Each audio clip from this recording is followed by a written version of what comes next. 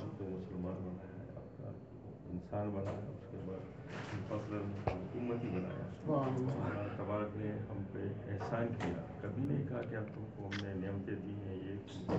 یہ مہربانی کی ہیں، یہ مہربانی کی ہیں۔ لیکن صرف کیا ہے کہ جب بھائی پاک وسلم کو میں نے محبوس فرمایا، آپ کی طرف ہم پہ اللہ نے بہت بڑا کرم کیا ہے۔ اللہ نے احسان جتایا ہم اللہ کا ہم بہت شکر گزار ہیں کہ اللہ نے ہم کو حفاظ اسلام کا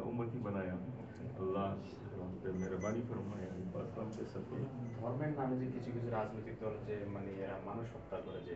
এটা আসলে ইসলাম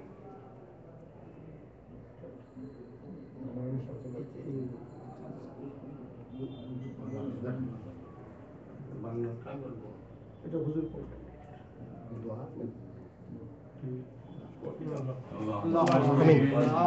مبارک میں سب کو آج جلوس جس کے جلوس عید اللہ اس جلوس کے صدقے عالم اسلام کے مسلمانوں کی طرف خیر فرمایا مسلمانوں کا حسن محبت اور رفا نصیب اللہ ہمارے جتنے نیک مقاصد ہیں پورے مصیبت سے آفت سے ناگانی آسات سے اللہ سب کو محفوظ رکھے۔ ہمارے آل و یال ہمارے بچوں سب کو محفوظ رکھے۔ حفاظت کی محبت حفاظت کی غلاموں کی محبت نصیب ہمارے دونوں جہاں بہتر ربنا تقبل منا انك انت السميع العليم ومن دعواتنا